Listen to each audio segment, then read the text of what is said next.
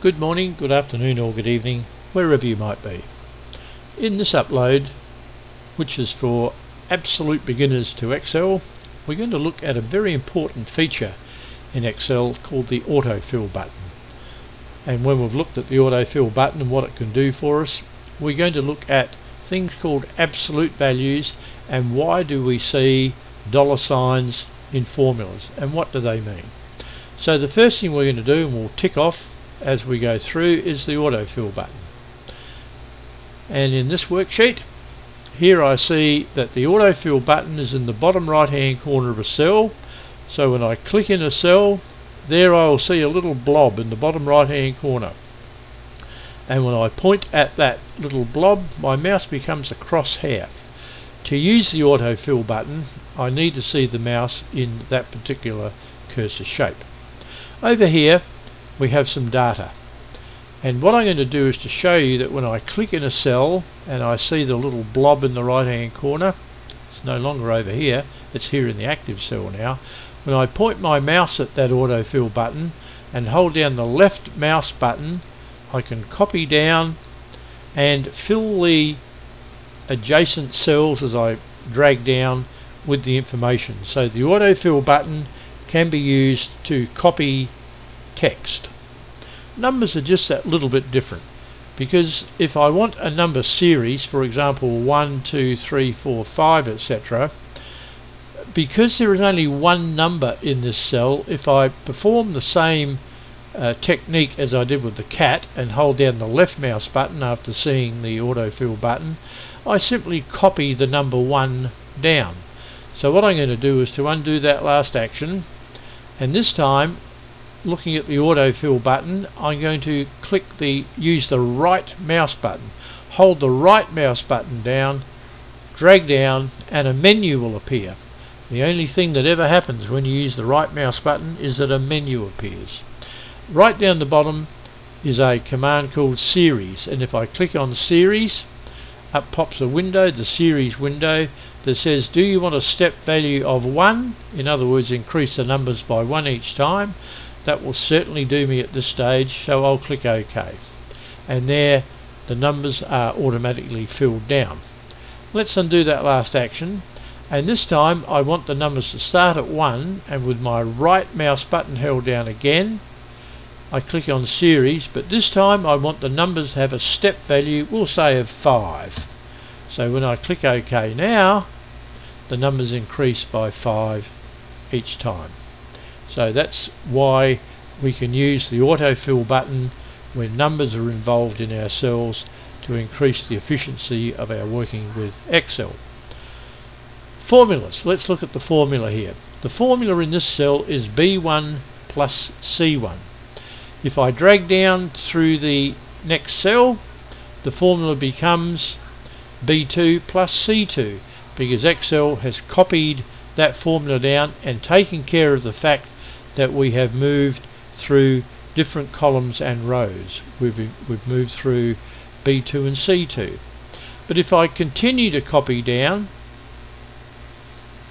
I get a zero. Why? Because when I click on that cell and look at the formula, it's trying to say B3 plus C3.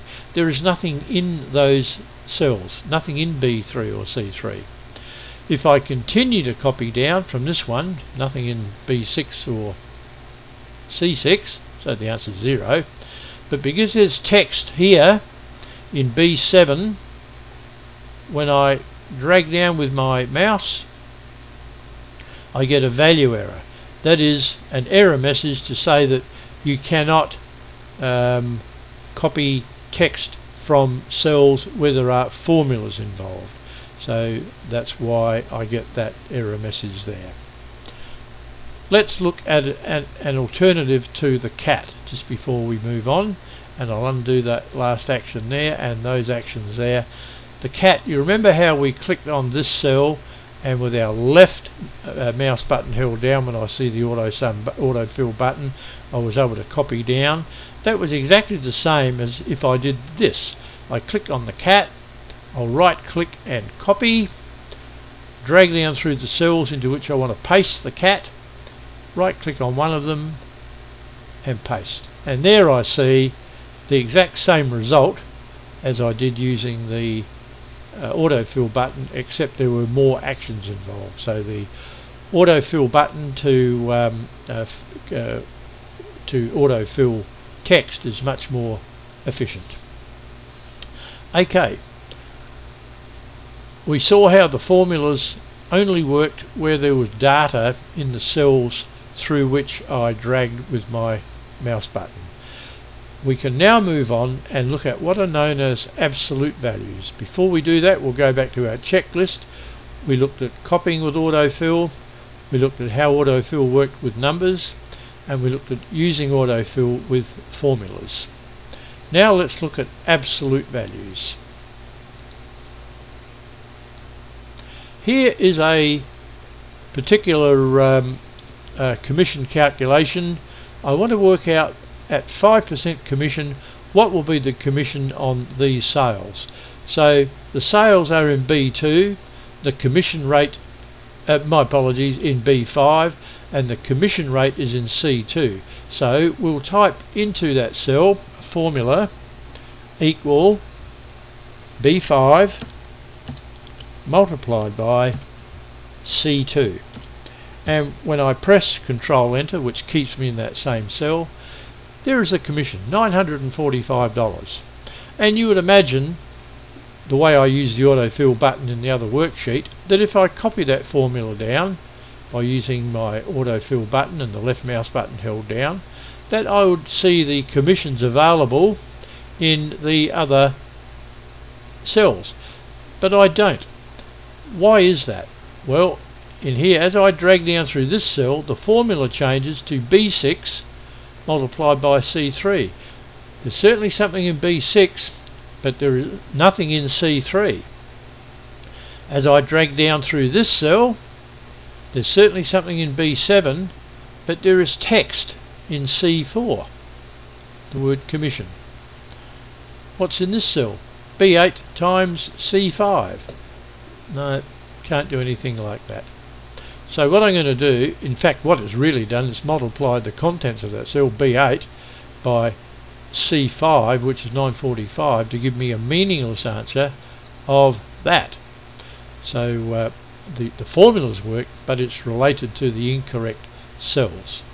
So let's undo that last action and we will delete what is in those cells. Now what I'm going to do in this cell is simply to say to Excel I always want to refer in the formula to C2 so what I need to do is to put a dollar sign in front of the C and a dollar sign in front of the 2 now what that does that locks Excel's reference to that cell in the formula. It will increase the rows as we go down as we shall see, but it always uses what is in C2. That is called an absolute value in a formula. So what we'll now do with our um, uh, autofill button available, we'll drag down through the cells and there are our correct answers. Why? Because now in this cell I'm multiplying what's in B6 by C2 because I made that cell absolute. This cell B7 times C2 etc etc so all I had to do was to put dollar signs in front of the cell reference in the formula. So let's look at a small shop situation where the cost excluding tax is say 130 450 290 etc and we want to work out what is the cost including tax maybe for ticketing purposes uh, profit and loss so on and so forth. So what we'll do we'll click into this cell and we're going to type a formula equals E5 multiplied by dollar $F dollar 2 and then we're going to put brackets around that because that will show me the tax. A bracket there. And then we want to add back the cost x tax so plus E5 so just to explain that formula E5 there times dollar F dollar 2 will give me the, the uh, sales tax. And then if I add back the cost X tax E5 then I can see that I have the uh, cost including tax. So let's control enter. There's my answer there. Good. And now I can simply autofill that down with my mouse button and there are my answers now the advantage of using uh, commission and sales tax rates etc and the like in cells is that if the sales tax rate increases to say 12% I only have to change the number in one cell and when I press enter all the other cells change to reflect the difference. Similarly if I increased the uh, commission rate to 10% I've only got to change that figure in there and all of the um, uh, other cells can be changed automatically for you. Thank you so much for watching. Don't forget to subscribe, don't forget to practice, and remember practice makes perfect. We'll see you next time. Bye for now.